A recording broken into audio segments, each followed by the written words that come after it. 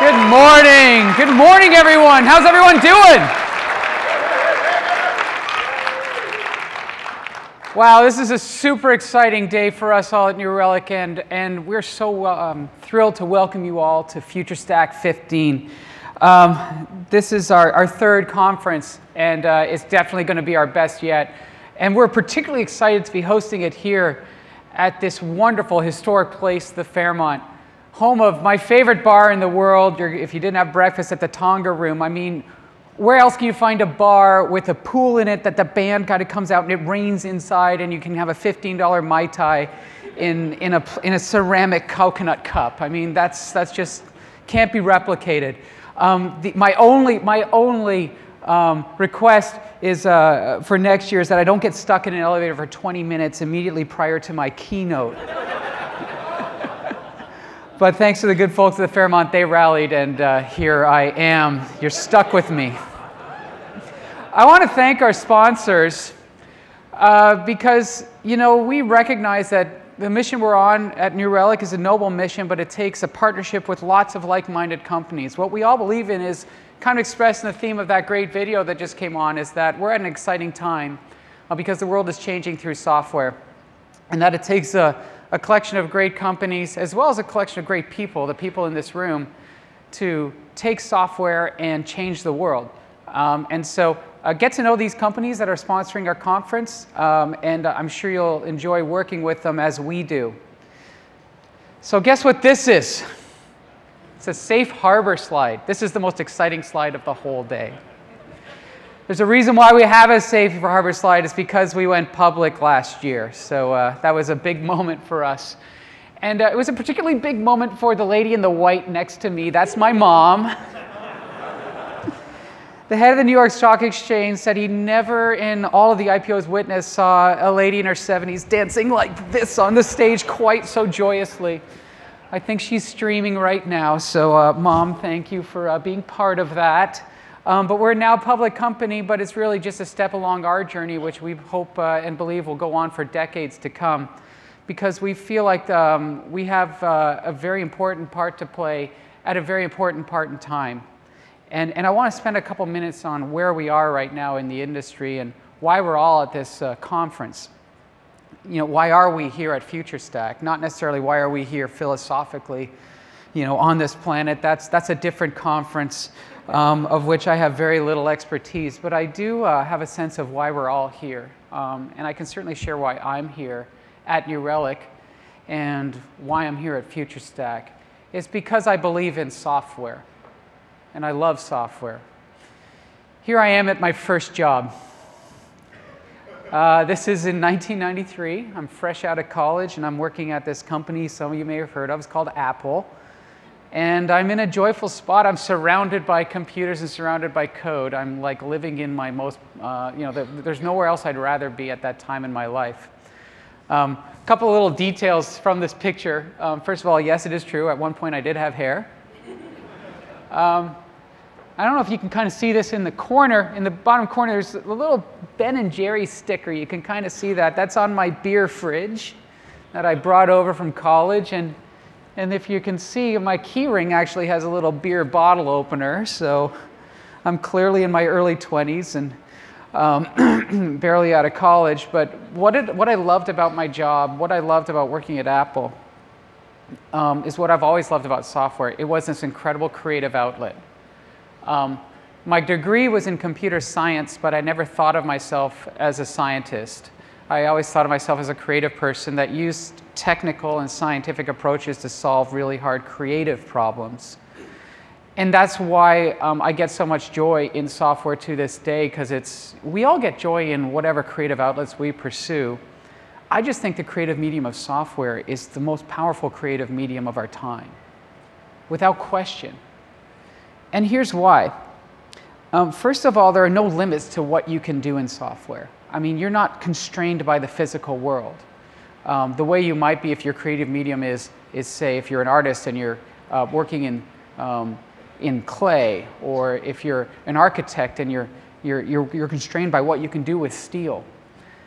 But there are very few constraints in what you can do with software, and that's why um, so many magical things are happening in software today. But then the second factor is where we are in time and how software gets distributed. And to kind of get you thinking about how software reaches people, let's look at how it got distributed back when I was, had a beer fridge and a bottle opener on my keyring. We put software on disks and we shipped them across the world to people. In fact, that's where we came up with the term shipping software. We still use that term today, shipping software. Well, that's because back in the 90s, it literally went on a ship. And it went to a remote place where somebody might put a disk in a computer and they might install the software and they might use it and they might have a good or a bad experience. All of those mights, all of those what the customer did, is completely invisible to the authors of the software. You have no connection between the builders of the software, even the distributors of the software, and the people who use the software. And of course, how can you expect to really understand your customer and how good your software is if you don't have that connection? Now, that changed dramatically, and the world changed dramatically with the advent of the internet.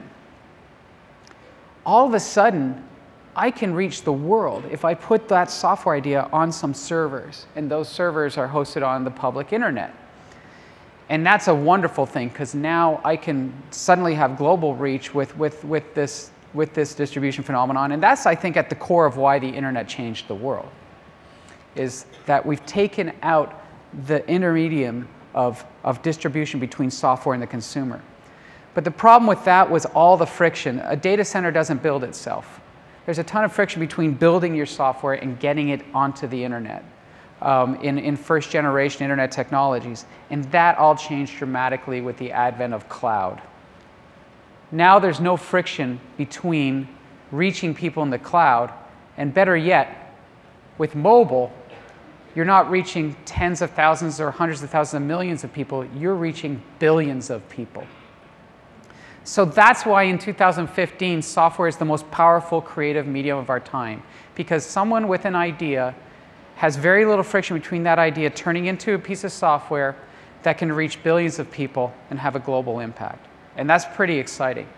And that's why I feel like there's so much emphasis and some, so why all the great companies in the world are thinking about how can we use software to change the world. It's because of the limitless potential of this creative medium. But it's not this unidirectional thing anymore. You know, it's not that one person has this idea or a group of people has this idea and they just push it out in one way you need a bidirectional communication with your customers. Think about, for the example of Facebook. Facebook was a great idea when Mark Zuckerberg was in his dorm at Harvard. Um, but if it was just that idea as is, Facebook wouldn't be the, the company it is today. What Facebook got really good at was measuring everything that the customers were doing in that software, taking those measures in real time to make better decisions on what to build next. So it's this feedback loop between understanding what your customers are doing, obviously, are they having a good experience? And then using that data to make the software better on a never-ending basis. That's at the core of what we do at New Relic is help you with that mindset. If you're not measuring what your customers are doing with your software, you're not connected to your software, you're not connected to your customer, and your software won't succeed. And there are particular moments where you can't resist watching what your customers are doing with your software. In particular, there's the excitement of launch day. How many people have kind of participated in a day where you're launching a new piece of functionality and, and like it's a very exciting moment, right? It's when like all of your hard work is now shown to the world. And that's, that's, that's just a very special moment. I, have had many of those. And um, I got to see in real time in Twitter, you know, and, and kind of empathize with someone going through that very exciting moment um, through, through a stream of tweets. So this guy, his name is Mike Hostetler um, is with a startup that managed to get itself on Shark Tank. How many people have heard of Shark Tank? Oh, you all have, of course. It's this nationally televised show. What a great opportunity for, an, for a company to get exposure on a national stage. So that's what happened with this guy's startup. Startup's called Rent Like a Champion, and the shorthand of what it does is it's kind of like Airbnb, but for specifically for big game football game days in college towns. So if you're if you've got a huge football team in a small college town, you know, there may be eight or 10 weekends a year where your town gets flooded with people who need a place to stay. And they help solve that problem on a national scale. Pretty good idea. In fact, good enough to get, you know, get a bid from, from the folks at Shark Tank. So while that's going on on TV, Mike is staring at how, what's going to happen on our web property, because this is a web business. And you could just see in real time, he can't help but tweet. More people are coming on. The site's holding up. We're still climbing. 8,000 users, 100% uptime. New Relic is there with me. It's kind of like imagine that launch day without being able to see the site. You feel like, you know, that you've completely lost. It's like, you know, not being there for the birth of your child, right? You want to be there in those moments when something really important happens. And the fact of the matter is, if you're an agile development shop, if you feel like you must constantly improve your software, then every day is launch day. Every day is a day where you need to be watching what your customers are doing with your software so that you can make the software better. And that's where we come in. You know, not only for Rent Like a Champion, but for some of the greatest companies in the world of all stages. We've got Nordstrom, Rack, and News Corp here as examples of websites that New Relic uh, and digital properties and, and mobile properties that New Relic monitors and, and watches on real time. So while consumers are looking at stuff like this, our customers are looking at stuff like this to make sure everything's working well. And in particular, they're focused on three very important interconnected things. Three very important interconnected things that heretofore have been disconnected. Success involves application performance. Is the software healthy? Is it working? Are there bugs? Is it fast consistently? It involves a great customer experience. Can you measure that customers are having a good experience with your software? And the third is what is the business performance of the software? If you're an e commerce site, how many items are you selling? If you rent like a champion, how many people are looking at and booking you know, overnight stays? All of these three things are interconnected. And let's talk a bit about how we got here and why we think they're interconnected in order to do that, I want to take you back in history.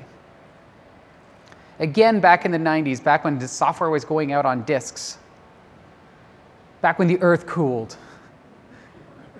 people monitored servers. People monitored servers, and, and by the mid 90s, it became basically standard operating procedure. Don't put any server in production without putting on something on the server to watch it. That made a lot of sense. Why wouldn't you have something to watch the health of the server? But like many things in life, after you've been doing something for so long um, that becomes standard operating procedure, you often forget the reason why you did it in the first place. Why are people watching all these servers anyway? Well, the only reason why you have servers running in production is to run software.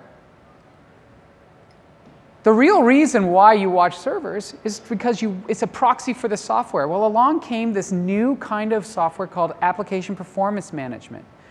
I actually created that with a few friends that are at New Relic. A few of them are in the room. We've been doing this since uh, 1998, where we said, look, the whole point is the application. You know, you buy the hardware, you run the hardware to run the software. So that's the real end game, isn't it? Well, actually, it isn't. Why do you care about application performance? Why do you care about application health? Well, at the end of the day, it's all about is the customer having a good experience?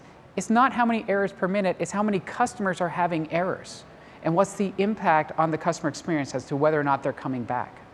And tying that all the way through to the health of the application and the server is super important because what's causing the error may be infrastructure related or maybe application related. So that's the end game, right? It's all about measuring the customer experience. Well, not quite. Because the whole reason why we build this software and we try to deliver a great customer experience is for a business outcome. Again, in the e-commerce example, the whole point for a great customer experience is selling more stuff online. In the case of Rent Like a Champion, it's um, getting more people to book more rooms so they can collect their fee for their value add. And that goes on for every digital project that you're. If you're in marketing, you want more impressions on people that gets people into your funnel engaged with your brand. The problem is that most companies didn't measure all of these things until very recently. In fact, many companies still don't measure all of these things. And until today, for those of you who do measure all these things, you're using different tools from different vendors. And that creates silos. So you have folks saying sales are down. I can see that from a report from last week. and there's no connection to the fact that that's related to an application performance problem or a server change or a customer experience issue. We think that has to stop. We think all this data belongs in one platform. And that drives our corporate strategy and our product strategy. And more importantly, the only way, the only way to do this is in the cloud. The only way to do this is in the cloud. Why do I say that?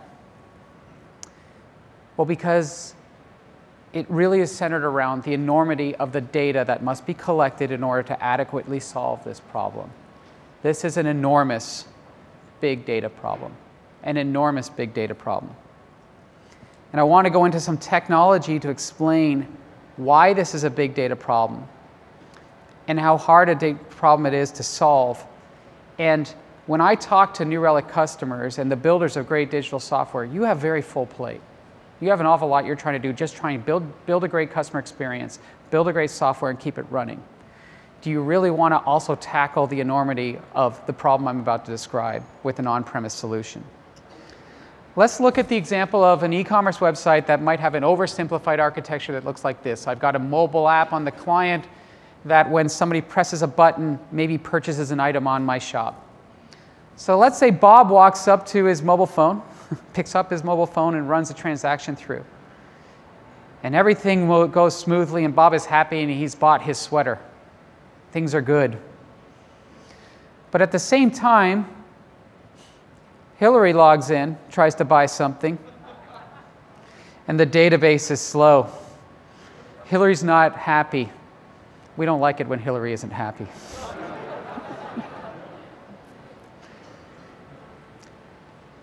Now, in the previous generation technologies before the cloud, the only rational way you could try to measure all this was to sample or to index or to throw away or to aggregate data. You couldn't capture everything all the time. It was just too much data to collect on premise. Certainly too much data to query in real time on premise in an arbitrary fashion. So, what did previous generation tools do? They aggregated and you lost sight of your customer. And when Hillary says, I couldn't buy the thing online, you say, well, 0.9 seconds was the average time. And maybe we have a max that says somebody had a 1.3 second time, but we didn't collect all the individual data points um, to answer that question because it was just too much, too much. Until today. Because it's not just you, you, the easy part might be, well, hey, I can imagine collecting one row, one row into a very big database for every transaction that goes through. But that's, it's not one data point for each of those transactions. If you want to deaggregate all of this, you need to collect all the data points for everything that happened in there. Right? So like that one page load might trigger 10, 50, 100 events. And if you want to know that Hillary couldn't buy that item because of a database problem, following all those data points, you need to collect it all. You need to collect it all. That is an enormous amount of data. Imagine every HTTP request that goes to the front end of your site generating 10, 15 rows that you want to arbitrarily query in real time all the time.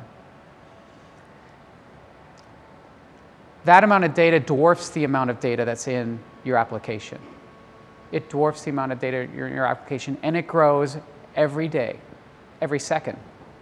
If you have anybody using your software, data should be collected about exactly how they're using it and how all the infrastructure behind it works together. This is not an easy problem to solve, but some folks have tried to solve it in what we would call arcane, expensive, and inadequate ways. You could try to build a big data solution on premise to collect all that data and then index, index that data in a way that anticipates what the questions might be ahead of time. Everybody has familiarity with indexing and how that works with databases, right? It's a way to say, look, if I ask a question of the data that, that shows me who are the slowest response times by username, well, I need to index on response time and username to get that answer quickly. If I don't, then I run what's called a table scan, where I scan all the rows in the database, and things melt and the lights dim. And, and, and, and if it's a production database, you might actually impact production. You might even take it down, right? So you put in indexes, and you get quick answers when you've write, written the right indexes. You imagine how much time it takes just to build and manage that kind of database? If you decided to do it today, even if you're using great cloud technologies, you're months away from having this really working to the way you want it. And then if you're lucky and you hit the query, you're going to get a fast answer. Until a new question comes along that says, well, I want to break it out by gender, or I want to break it out by age, or I want to break it out by sign up date. Oh, I didn't put an index for that. Um, it's okay, I've only got a 3 trillion row database I can put an index in. Can I get back to you in two weeks? Says, oh, I didn't want gender after all, I wanted something else, right? So that loses flexibility. It's a very inflexible solution. And the only way you can be successful in business is to be able to ask lots of questions, right? Asking questions and getting immediate answers, that feeds the next question. It's that feedback loop, that iterative feedback loop of question and answer of your software that enables you to have insights and solve problems.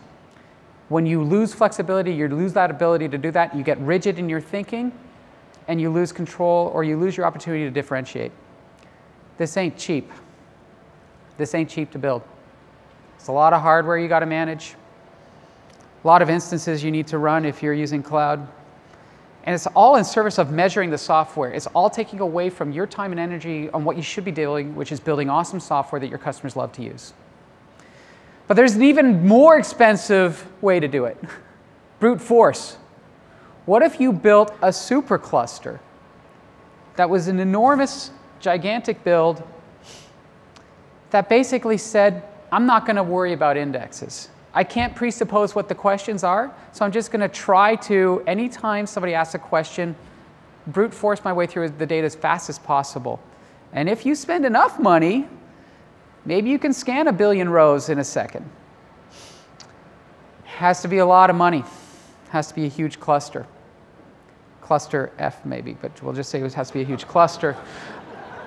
Sorry, Mom. Um, you get flexibility at great cost, enormous cost. We think there's a better way. We actually solve this problem for all of you. And we do it with a proprietary database we built from the ground up that nobody else has and nobody else has done because it's purpose built for this problem. It's a database called NRDB. It's a multi tenant cloud analytics database. This is the database that fuels the engine that is New Relic Insights. Okay? And what's special about it, I looked at all the other databases. I, I think some of you have heard the story. Um, I spent most of 2012 trying to solve the above problems, you know, the whole how do we get closer to the customer? And I ran into walls with the, the other technologies. Either um, we needed to index on everything, because we couldn't presuppose what our customers' question were. Um, or we needed to build an enormous supercluster for every customer because all the existing open source database technologies were never designed to be hosted in a multi-tenant environment. And they weren't really designed with SaaS in mind. These are databases that are intended to be run in, um, in traditional environments, not as a database as a service. But that's what we've built. And it's unique. And, and I'm going to go into the multi-tenant nature of it in a second, because that's the real key thing you need to understand is why this is so hard or, well, beyond expensive to do if you're to do it on premise with your own stuff. You know, we've built this supercluster so you don't have to, and right now it's collecting over 2 million events every second. That's the insert rate into our cloud database, 2 million events per second. And at trade shows like this, people throw out big numbers and it's really hard to get a sense, well, how, how do I kind of map that in the universe of how much is 2 million events per second? So here's some context for you to kind of understand. Every day, here are the event insert rates of the top social media companies. So we see Instagram posts 80 million events per day. Half a billion tweets are, are, are, are issued every day, and WhatsApp at 700 million images shared every day. And if you were here at last year's FutureStack, you may have noticed we actually put all of the tweets in real time into Insights as one of the many tenants in our multi-tenant cluster, and it was a non-event for us. We were able to do real-time analytics on every tweet in existence in real time. That's the level of processing power we do because by comparison to this many events per day, New Relic is collecting 18 billion events every day. 18 billion events every day. So if, um, if you're not Google, um, then you should be just fine inside NRDB for all of your web properties. And maybe Google, I don't know. Let's just say if you're not Google. Keep my lawyers happy. All right, that's the right activity. That's the right activity. But this isn't data that's going into cold storage for you know, weekly reports that are indexed. Um, that's the old way of thinking about it. You need to be flexible. You need to be able to query this all in real time. So when we do run a query, it is a lightning fast table scan. And we're scanning 126 trillion events every day. 126 trillion events every day. And to kind of just give you a sense of the power of NRDB, I just want to, let's just go to a demo. I, I, just, I decided to do this last minute, so can we just flip over to a demo for fun? So this is a dashboard that shows New Relic Insights reporting on NRDB itself. And um, I just decided to see how we're doing. This is literally real time, so it was like I was taking risk. Hopefully we don't have a hiccup right now, and we're not having a hiccup because this thing just chugs right along. So when I said 2 million events per second, I was definitely undershooting. It's 2.5 million events per second it's inserting right now. And the average query going through that database is a 20 millisecond query. 99% of our queries are at 221 milliseconds, and they're all table scans. That's mind blowing. And in aggregate, they're looking at 800 million events per second right now. Earlier this morning, I was seeing that 3 or 4 billion events per second, and the 99 percentile query time doesn't move. So that is kind of what's chugging along for all of our customers right now, enabling you to really understand what's going on in your software and in your business. Uh, we don't think there's a database remotely like this, um, certainly in the cloud. And we think um, that's a, a foundational technology that you want to understand how it works because it's going to impact how you think about watching your software and measuring your software. So if we go back from the demo, we can show how on earth is this possible? How on earth is this possible? So the way it works is we've built this enormous supercluster. Really, really large number of machines that would be too expensive to conceive of to build for any single customer. But for any one of our customers, like Rent Like a Champion, when their data goes into NRDB, it's parceled up into all of the servers in our cluster. And there's duplication of that data, so if one of the servers goes down and things like that. So it's, there's lots of things we do to ensure resiliency of, and, and performance. But these are big, beefy servers with lots of RAM, so that when someone from Rent Like a Champion writes a query, that data is already going to be in memory, and you can do a lightning fast table scan that spans the entire database. So if you ask, what are the most popular universities that people are looking at right now at Rent Like a Champion? Because we want to make sure there's enough supply rooms at the towns that people want to go stay at. That's an important real-time question. You don't want to ask that a week later. You want to know that right now, early in the week, right? So you run that query and NRDB does an awful lot of magic super fast and comes back in 43 milliseconds and says, I've looked at all the page view events and the most popular university is Notre Dame. And because you get that in real time, your mind is in a place where you can creatively solve the problem and say, ah, you know what? Our whole QA team went to Notre Dame. I have a feeling this is actually not quite the right question. I think I've got bad data because I didn't ask the right question. Um, because there's probably a bunch of test data that is going on in production that always returns Notre Dame. So can I just put something in the where clause or say not test equals true? And all of a sudden, in, in, in the old world, that, oh, geez, you're, you're all of a sudden you're hitting a, a, a column that we don't index on, and, and that could melt the database. No problem for NRDB. We just scan all the events again, and we get the answer right away.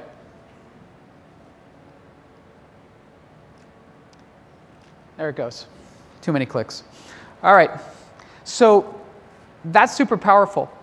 And again, if it was just for one customer, well, you'd be spending millions or more just on managing this database, right? Um, and, and, but it's not just for one customer because meanwhile, someone at News Corp may be asking questions about what's going on in the Wall Street Journal right now. And so they can ask, how many article readers are there out there? What are the most popular articles? And how many of them are converting into subscribers? The only, only way this can be cost effectively done is with multi-tenant. Doing it with single tenant is kind of like buying an entire 747 because you fly across the country three times a year. It's just catastrophically expensive to do and maintain, and it makes no sense. But when you see all this data coming into our data analytics cloud, it's super important for us to talk about our focus on securing that data for you. We're all in on SaaS, and that means we have to have, and we do have world-class security. We spend an enormous amount of time and energy making sure that the data that goes into NRDB is secure, only accessible to you, never visible to any other New Relic customer. And really what comes down to is a team of experts that are fully dedicated to the security function at New Relic. We currently have seven people on the security team. They're led by a guy named Sean Gordon. Sean, uh, Sean's previous job was being accountable for the security of all the tax data on turbotax.com. Again, another cloud solution that had very sensitive data that, that, that TurboTax was, had to be you know, responsible for securing that, and he did a wonderful job with that. And now he leads a dedicated team that spends all their time with our engineers and our operations people making sure we do a world-class job of securing all this data.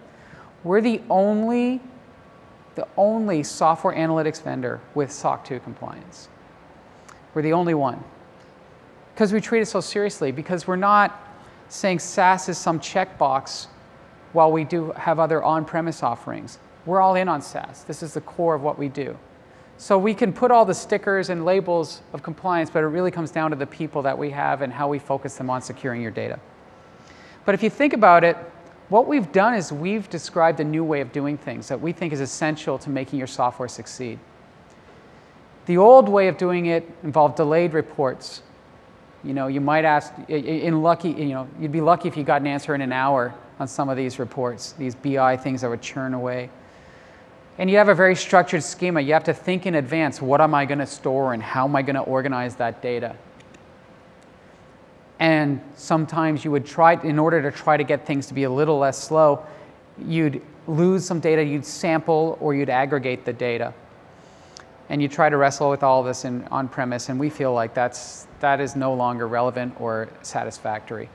And particularly the unstructured data. So in the case of um, New Relic, you can, you can just decide today, I'm going to add an extra attribute to all these events we're, we're collecting. I want to you know, add the item name.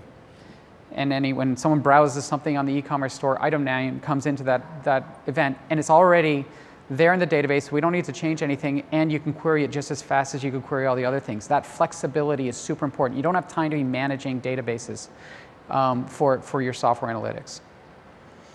So that's all really powerful stuff, and I think with that framework, you now have an understanding of why what we offer is so powerful for all of you if you're thinking about application health, customer experience, and business outcome.